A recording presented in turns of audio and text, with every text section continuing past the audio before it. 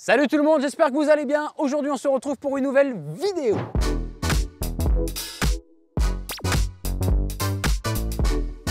Vidéo dans laquelle je vais faire 1300 km au volant d'une Volkswagen ID7 et l'objectif c'est de ne pas planifier mon trajet. Donc dans cette vidéo on va voir deux choses. La première c'est est-ce que les voitures électriques ont assez d'autonomie sur autoroute? Et la deuxième c'est est-ce qu'il y a suffisamment de bornes de recharge pour avoir le luxe de ne pas planifier? Avant d'attaquer la vidéo je voulais remercier Buy My Car Villefranche pour le prêt de la Volkswagen ID7 qui sera la voiture idéale pour ce genre de parcours. Et justement ça c'est grâce à vous donc plus vous êtes nombreux à me suivre sur la chaîne plus je peux aller voir les concessions pour qu'ils me prêtent des voitures et vous proposer du contenu autour de la mobilité électrique. Donc si vous voulez me donner de la force pour continuer à faire ça, un petit pouce bleu, abonnez-vous à la chaîne et activez la petite cloche. Merci les gars. Et avant d'attaquer, avec JC de la chaîne EV, nous avons créé un comparateur de leasing sur les voitures électriques. Donc si vous êtes à la recherche d'une voiture électrique et que vous voulez avoir la meilleure offre sur votre voiture, vous avez simplement à cliquer sur le lien dans la description, remplir le petit formulaire et vous allez recevoir jusqu'à trois offres de nos partenaires. Et j'espère que vous êtes bien installés pour regarder la vidéo parce que c'est parti. Allez, rapide tour du propriétaire. Donc Volkswagen ID7 en style exclusive. Jantes 20 pouces en noir, 286 chevaux, 77 kWh de batterie, 4,96 m de long, donc c'est un beau bébé. Vous avez un grand coffre à l'arrière. Puissance de recharge, on est sur du 175 kW. Alors vous verrez dans la vidéo, j'ai pris bien plus que ça. Ça recharge vite. Vous verrez aussi au niveau de la consommation, j'ai été impressionné. Le coffre, 530 litres. Pour une familiale, si vous avez deux enfants, ça peut le faire. Vous avez un sous-coffre ici avec les câbles et encore un autre petit sous-coffre. Qu'est-ce que vous en pensez du style? Moi personnellement j'aime bien mais c'est pas waouh. Après ce n'est que mon avis. Et sinon, le gros à toute cette voiture, c'est son intérieur. Hyper confortable. Donc là j'ai la finition avec siège ventilé, siège massant, toit panoramique. vous avez un grand écran central juste ici. Vous avez un petit rappel écran ici, il y a l'affichage tête haute. On se retrouve à l'intérieur. Allez, c'est parti, me voilà à bord de la Volkswagen ID7. Je suis sur le départ à Villefranche, direction donc le bassin d'Arcachon. J'ai 620 km essentiellement d'autoroute à faire. Et donc là, le but, c'est de partir tout simplement comme une voiture thermique. Et lorsque j'aurai envie de m'arrêter, parce que là, j'ai une voiture qui me permet quand même de faire entre 350 et 450 km sur autoroute. Donc, c'est ce qu'on va vérifier. Je ne l'ai jamais conduit en conditions réelles. Donc, pour l'instant, ça reste du théorique. Et le but, c'est de rouler. Et ben, quand j'aurai envie de m'arrêter ou quand j'arriverai entre 10 et 20% de batterie, je m'arrête, je mets ma recharge et je vois ce que ça donne. Donc, en théorie, 620 km, je peux le faire en une seule recharge. On va voir ce que ça donne. Là, il est 10h30. Euh, je pense que déjà, dans 3-4 heures, euh, déjà, j'en aurai marre. Et deuxièmement, je pense que j'aurai faim et envie d'aller aux toilettes. Donc c'est ce qu'on va voir dans cette vidéo. Donc là, juste pour information, sur le compteur, je suis à 97% de batterie pour 550 km d'autonomie. Il fait 20 degrés, il n'y a pas de vent. C'est vraiment les conditions idéales pour une voiture électrique. Et là, donc, je l'ai simplement planifié sur, euh, sur Android Auto pour que j'ai mon itinéraire. Mais le but, c'est de ne pas planifier, tout simplement. On va quand même regarder ce que me propose la voiture sur le planificateur. Donc si je me mets direction Arcachon, donc là, on peut voir que la batterie est rouge, donc forcément, j'aurai pas assez d'autonomie. Alors, donc là, on peut voir que avec la batterie que j'ai actuellement, ça c'est mon champ d'action. Donc là, en gros, si je pars d'ici, en théorie, je peux arriver jusqu'à Périgueux. Donc, euh, je pense que c'est un petit peu optimiste. Mais écoutez, on va voir. Hein. Je pense que je m'arrêterai. Je crois qu'ici c'est Brive-la-Gaillarde. Donc, à mon avis, je vais plutôt m'arrêter aux alentours de Brive-la-Gaillarde.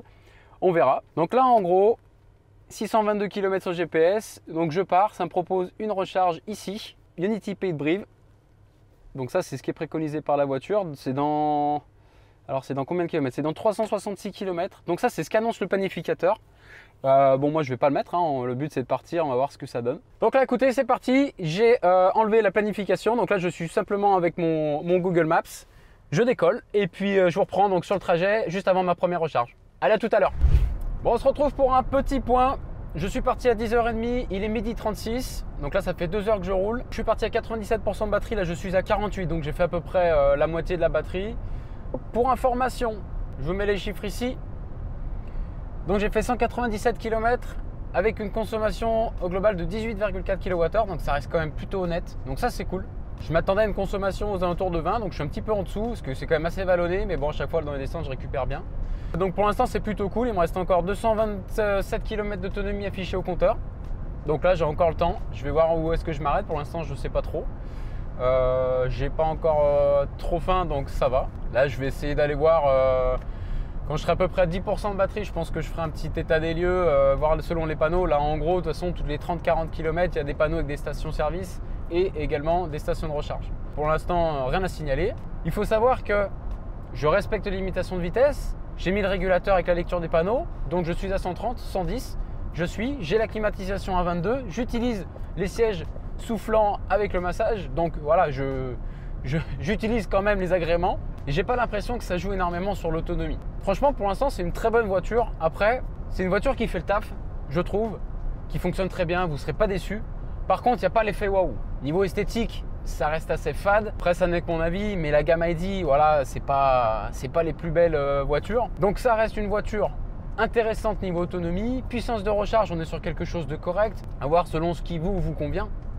Mais en tout cas, ça reste tout à fait respectable. Donc là, je pense que je vais quand même faire une grosse recharge. Je pense que je vais arriver entre 5 et 10 euh, sur le prochaine euh, station de recharge. Je ne sais pas encore où je m'arrête.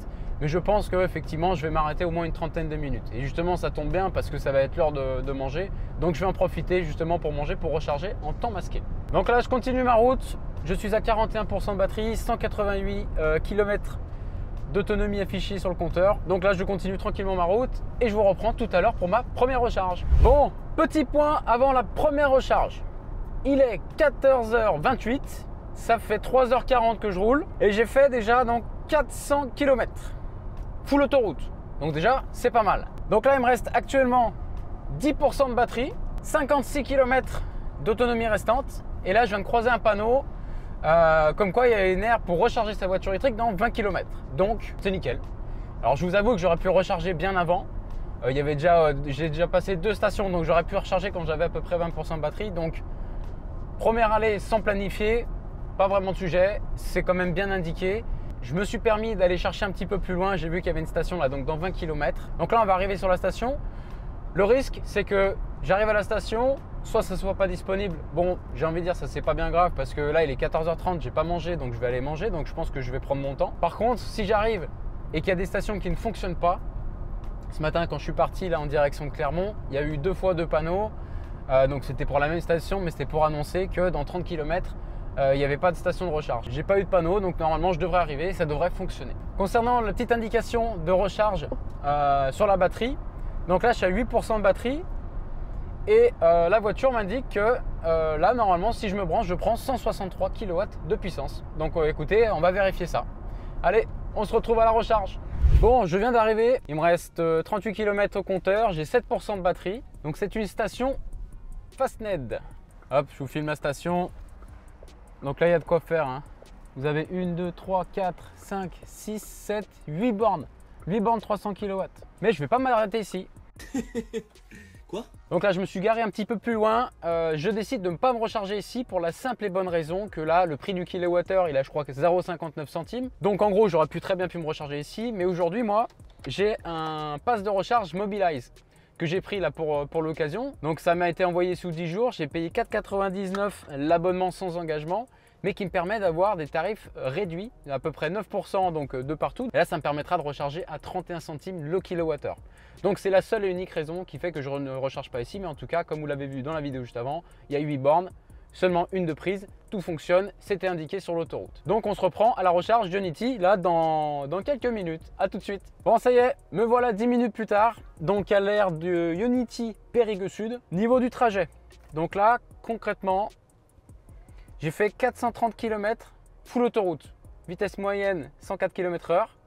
Conso, là je suis agréablement surpris, 16 kWh au 100. C'est vraiment très correct. Donc voilà au niveau des stats. Et concernant donc là la petite fonctionnalité de savoir euh, ce que va prendre la batterie. Donc là niveau température en hiver, il faut la préconditionner pour qu'elle soit à la bonne température pour pouvoir prendre la bonne puissance de recharge. Là, il fait 25 degrés, donc il n'y a, pas de sujet. Donc là, avec 4% de batterie, je vais faire ma recharge et normalement, je vais prendre jusqu'à 164 kW. Donc là, vous avez la station de recharge Unity, vous avez 6 emplacements. Donc là, je suis seul au monde. Hein.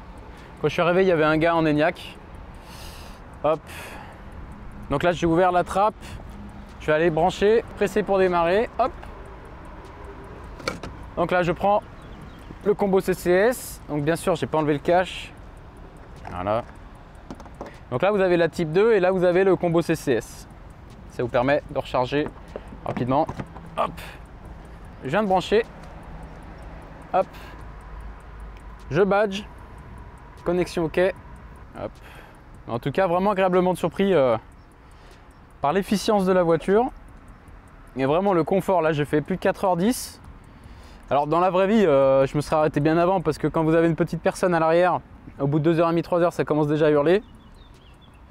Mais là, je viens de faire 4h10, à part que j'ai faim et envie de pisser, euh, c'est quand même plutôt confortable. Les sièges ventilés, les petits sièges massants, on fait du bien. La charge vient de se lancer.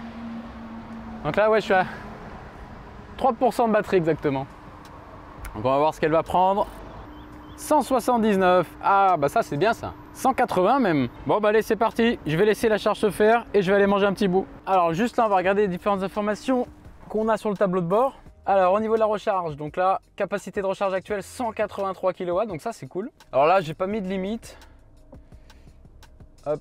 Donc là si je me recharge à 80%, il est 15h06. Je suis déjà à 17% de batterie je serai à 80% en gros euh, à 15h31. Là en gros dans 25 minutes ma recharge elle est finie. Là dans la réalité moi à 25 minutes je vais aller manger un bout, je vais aller aux toilettes donc ça va me prendre un peu plus de 25 minutes donc je vais remettre hop jusqu'à 100.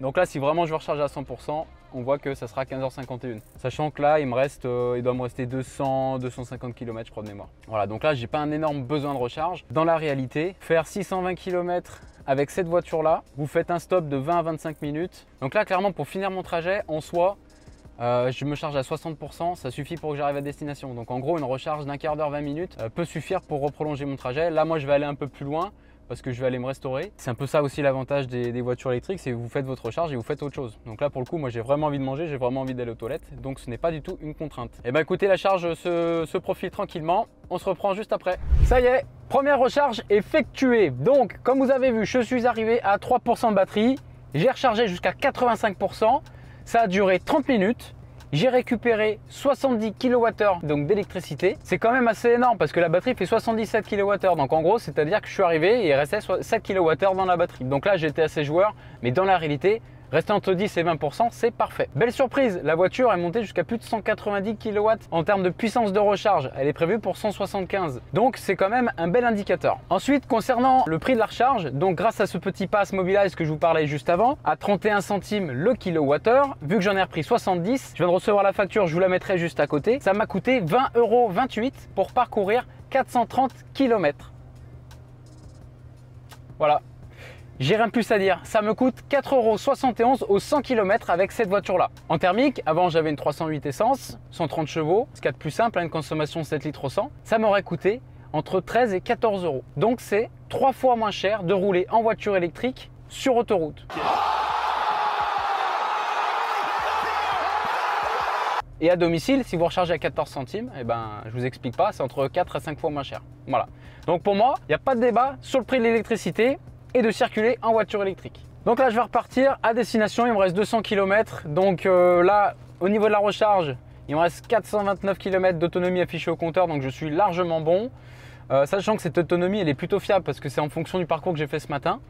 Donc euh, si je reste à, j'étais entre 110 et 130 à Toulon, bien toujours aux limitations. Donc là j'ai largement de quoi faire, ça me permettra de tourner sur place, de profiter de la journée demain parce que je rejoins la chaîne EV pour le Electric Fan Days, un gros rassemblement de, youtubeurs et de passionnés de voitures électriques. Donc je vous ferai un petit débrief quand j'arrive. Voilà, à tout à l'heure. Et ça y est, me voilà arrivé donc à destination après 618 km. Au niveau des récaps, alors qu'est-ce que ça donne? Donc 618 km. Au total, on a eu 6h42 de roulage, donc c'est plutôt correct avec une vitesse moyenne de 92 km/h et une conso moyenne de 16,1 kWh au 100. C'est pas mal. Vu le gabarit et le poids de la voiture, c'est quand même tout à fait respectable. Pour information, ma Zoé sur autoroute, je suis plus à 19-20. Donc euh, pour vous donner une ordre d'idée. Pour l'instant, l'allée s'est très bien passée. Pas de, pas de choses en particulier à redire, à part que effectivement, euh, donc c'est indiqué à chaque station-service qu'on peut se recharger. Mais par exemple, la borne Unity, où je suis allé me recharger tout à l'heure, euh, elle n'est pas indiquée sur l'autoroute. Donc en gros, il faut avoir l'application ou le planificateur. Moi, je la connaissais, donc je me suis arrêté. Mais une personne lambda qui ne connaît pas et qui prend la voiture électrique s'arrêtera seulement sur les aires de station-service. Donc ça fonctionne très bien. Après, c'est juste si vous avez différentes cartes avec des réductions, bah là, ça vaut le coup de planifier, de regarder où est-ce que vous voulez vous arrêter. Donc là, comme vous le savez, demain se passe le Electric Fan Days avec la chaîne EV, donc à la test de bûche. Je vous ferai quelques images de la journée, des événements. Il y aura pas mal de voitures assez sympas. Il y aura la nouvelle R5, il y aura la Citroën IC3, il y aura la marque Xpeng, il y aura des NIO. Et là, on se retrouve du coup ben, dimanche matin pour la deuxième partie, pour le retour, donc pour faire la test de bûche, direction Lyon. Voilà. Donc bienvenue au Electric Fan Days. Donc là, en gros, vous avez ici une grande rangée avec des Tesla. Après, là, vous avez d'autres rangées avec d'autres véhicules. Vous avez la fameuse Unique 28 du Unique 28 Challenge, la Unique 6 d'Alex, avec les petites touches d'orange en bas. Femme moto, la C0 SRF, magnifique. Là, vous avez une Hyundai Ioniq 5N, un monstre, plus de 600 chevaux, avec la sonorité d'un véhicule thermique, c'est un truc de malade. Là, vous avez NIO ET5, magnifique. C'est la même qu'on avait eu euh, à Oslo avec le swap de batterie qui existe. Donc pour l'instant, pas encore disponible en France. Là, vous avez Genesis. Vous avez ici un euh, beau SUV Xpeng. Une autre Ioniq 5N en orange. Magnifique. Un petit coup de rupteur? Alors c'est vrai que comme ça, ça paraît ridicule. Oui. mais, quand, mais quand tu l'as conduit avec les palettes. C'est là où justement ça donne toute la sensation. Parce que c'est tellement en fait dans le, maintien de ta voiture, dans le suivi de ta voiture, que finalement le bruit te met juste dans l'immersif et permet, on va dire, de mieux gérer ton passage de vitesse. Et du coup, le son, tu te rends même plus compte qu'il est artificiel. Ouais. Euh, c'est vraiment c'est le meilleur des deux mondes. Oui, clairement. C'est la puissance, l'efficacité, la sonorité pour avoir les sensations. C'est très joli comme ça, orange. Hein.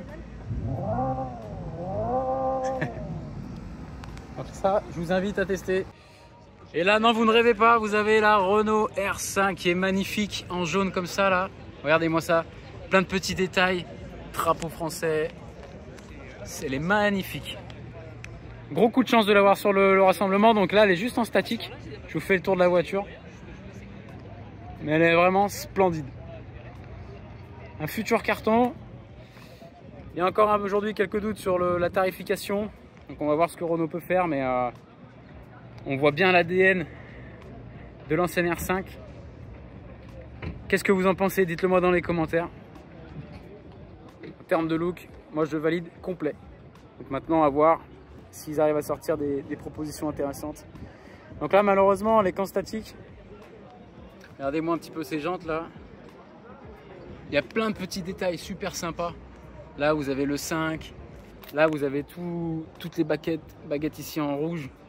Donc elle est fermée malheureusement, on ne peut pas voir l'intérieur. Mais l'intérieur, elle est bien, bien travaillée. Vraiment super belle. Les feux arrière, on est vraiment sur euh, le rappel de la toute première. Donc magnifique. Et ensuite, je vais vous montrer la petite IC3. Et là, vous avez la nouvelle Citroën IC3. Donc c'est la première fois que je la vois en vrai. Alors c'est marrant parce que c'est une, petite citadine mais euh, qui a quand même des allures de SUV quoi. Donc là plutôt sympathique en rouge comme ça là. Bon l'intérieur on ne voit pas trop mais ça fait quand même plutôt quali.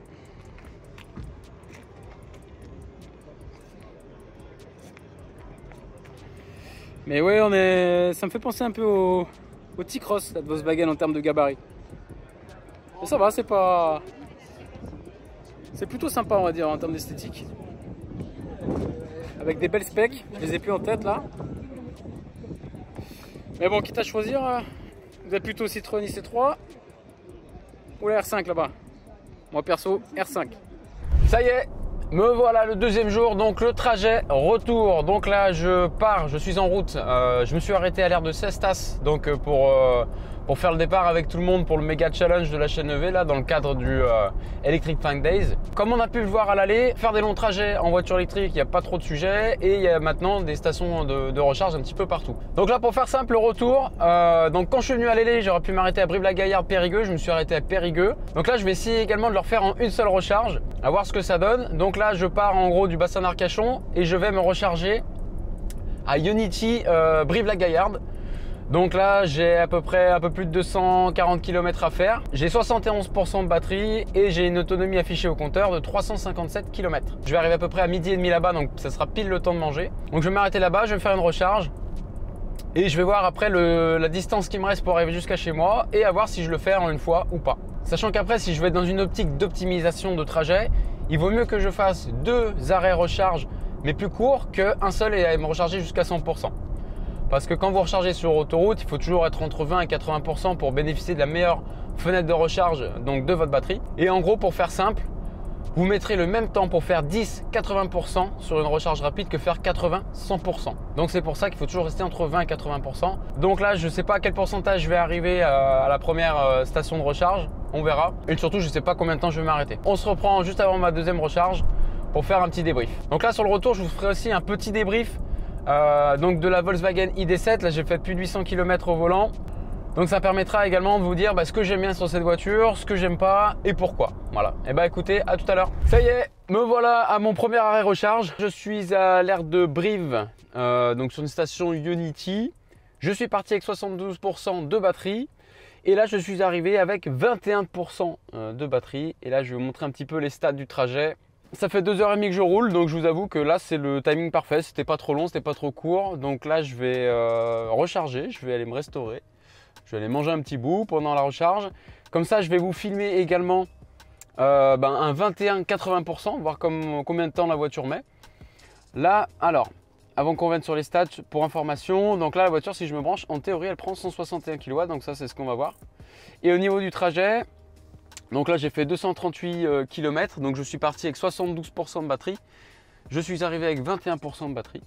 Voilà, et euh, j'ai euh, un peu plus consommé qu'à l'aller. Alors je me suis pris pas mal de pluie. Donc, donc voilà, c'est un petit peu plus consommé. Et depuis le début du, parcours, donc là je suis à 1012 km et avec une consommation de 16,8. Voilà. Et bah écoutez, je vais lancer la charge et je reprends juste après. C'est parti, première recharge chez Unity Brive. Donc là c'est pas mal. C'est une station qui est couverte, il y a de quoi se restaurer. Alors bon lancement de la charge hein, comme d'hab chez Unity. Pressé pour démarrer. Tac. Ok ça va marcher. Donc là je prends le connecteur.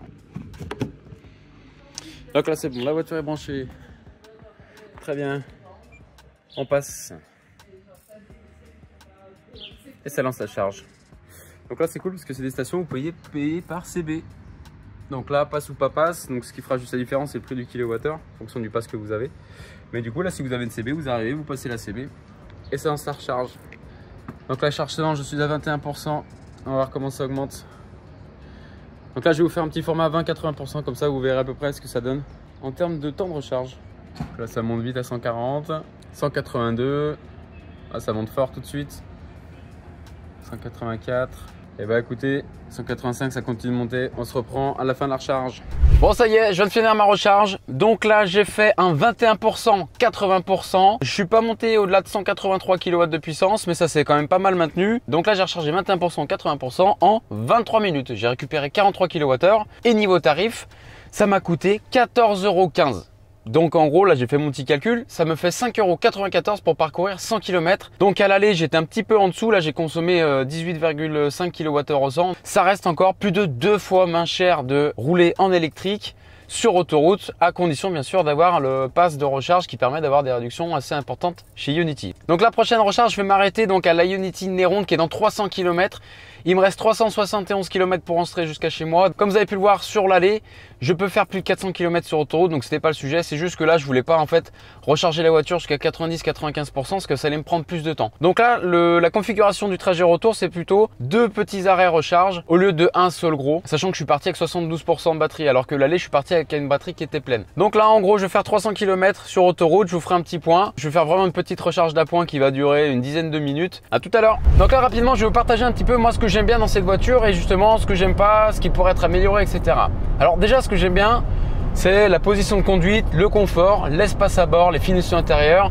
C'est quand même plutôt sympa. On est sur du Volkswagen, ça fonctionne bien, c'est très confortable. Malgré le gabarit, donc on est sur 4,96 m, 2 tonnes 100.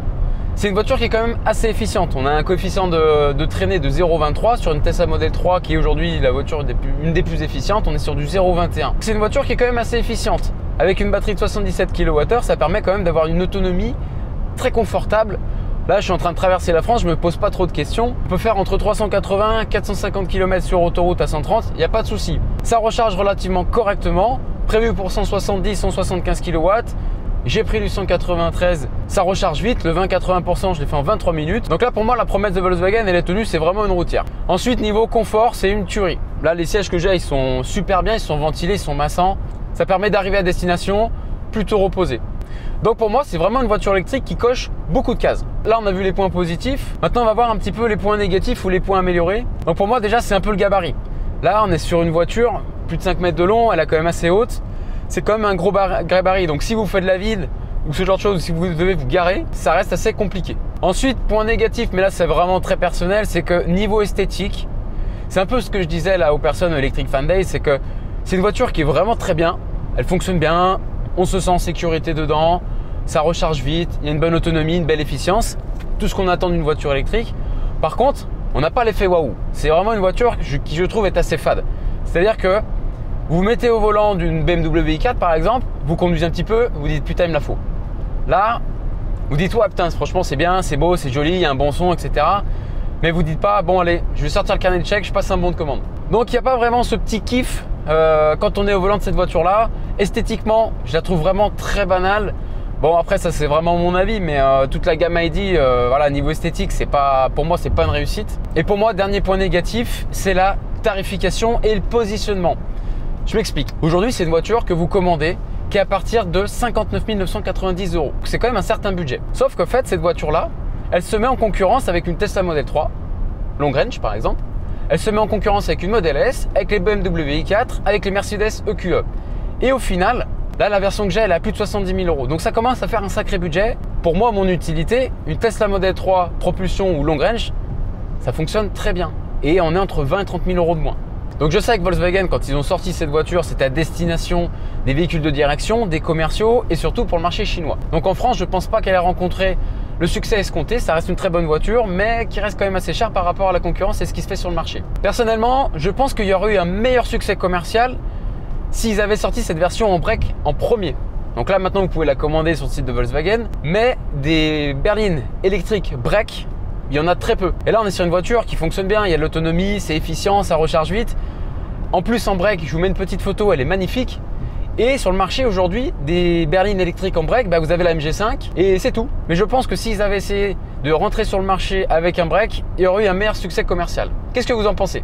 Donc voilà, c'était la petite parenthèse. On se retrouve tout à l'heure. Ça y est, me voilà au deuxième arrêt recharge donc pour rentrer euh, sur Villefranche-sur-Saône. Du coup, je suis arrivé avec 8% euh, de batterie. Donc là, j'ai parcouru 297 km. Donc en gros, pour faire 80% de la batterie, 10% de batterie, avec une consommation de 17,8, ça vous permettra de faire à peu près 300 euh, km. Donc là, vitesse moyenne 108, 2h45 de roulage. Donc là, ça fait pareil, ça fait du bien de faire une petite pause. Et donc là, je vais lancer la charge. C'est parti. Ça y est, dernière recharge effectuée. Donc ceci, c'était vraiment une recharge qui était courte. Elle a duré 11 minutes là. Euh, j'ai récupéré, donc euh, je suis passé à 224 km d'autonomie affichée au compteur. Sachant que là, pour rentrer chez moi, il me reste 60 km. Donc accessoirement, si j'avais rechargé Ma dernière recharge à 100%, j'aurais pu rentrer chez moi. Pour faire du 80 à 100%, ça aurait mis beaucoup plus de temps que 10 minutes. Donc là, c'est le, temps en gros de la recharge. Donc c'est pour ça que j'ai préféré faire un deuxième stop, mais plus rapide.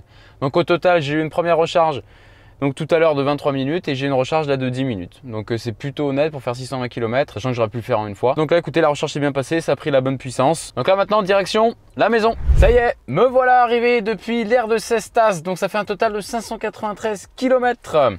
Hop, je vous montre un petit peu les chiffres. Donc là, c'est le trajet d'aujourd'hui. Donc 593 km, 6h10 de roulage. Une conso moyenne de 17,5. Donc c'est un petit peu plus élevé euh, que l'aller. Et là, je vais vous montrer du coup donc, la totalité du road trip. Donc là, au total, 1367 km, un total de 16h43 au volant, une vitesse moyenne de 82 km/h. Donc il faut savoir que sur place, une fois que j'étais sur place, on a pas mal tourné sur Arcachon, un test de bûche, etc. Donc c'était que de la, circulation entre 50 et 80 km/h. Et ce qui est surtout intéressant, c'est que la conso, sur la totalité du trajet, c'est 16,8 kWh au 100. Donc c'est une consommation d'une voiture quand même qui est assez efficiente vu le gabarit, donc ça j'ai déjà dit plusieurs fois, mais en tout cas voilà je suis, je suis très surpris de cette voiture. Donc encore une fois, sur ce trajet là, aucun souci en particulier. On se retrouve tout de suite pour la conclusion. Voilà, donc comme vous avez pu le voir, ben, les 1300 km en voiture électrique, il n'y a aucun souci. Alors sur la première partie, effectivement, j'ai vraiment fait sans planifier. Mais je me suis permis d'aller un tout petit peu plus loin pour recharger chez Unity parce que j'ai le pass Mobilas qui me permet de recharger beaucoup moins cher. Et sur la deuxième partie, bah, vu qu'on a vu qu'elle allait, ça fonctionnait. Le retour, c'était la même chose, mais je voulais m'arrêter essentiellement chez Unity. Donc j'ai fait seulement deux arrêts recharge. Alors j'aurais pu le faire en un seul, bien sûr, mais j'ai privilégié deux petits arrêts recharge que un seul grand. En tout cas, j'espère que cette vidéo vous a plu. Si c'est le cas, n'hésitez pas à mettre un petit pouce bleu, dites-le moi dans les commentaires et surtout, abonnez-vous Et bien sûr, je voulais encore remercier l'équipe de Buy Villefranche pour le prêt de cette voiture. Je me suis régalé, c'était vraiment hyper confortable. Et bien sûr, si vous voulez passer à la voiture électrique ou si vous voulez changer la vôtre et que vous souhaitez faire un leasing dessus, n'hésitez pas à utiliser le comparateur de leasing pour recevoir la meilleure offre du marché. Merci à vous d'avoir regardé la vidéo et je vous dis à très bientôt. Ciao